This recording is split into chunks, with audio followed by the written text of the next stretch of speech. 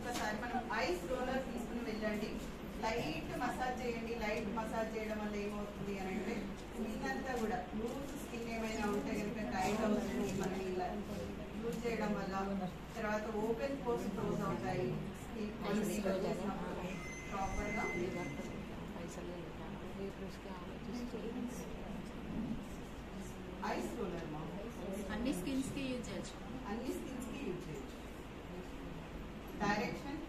direction of water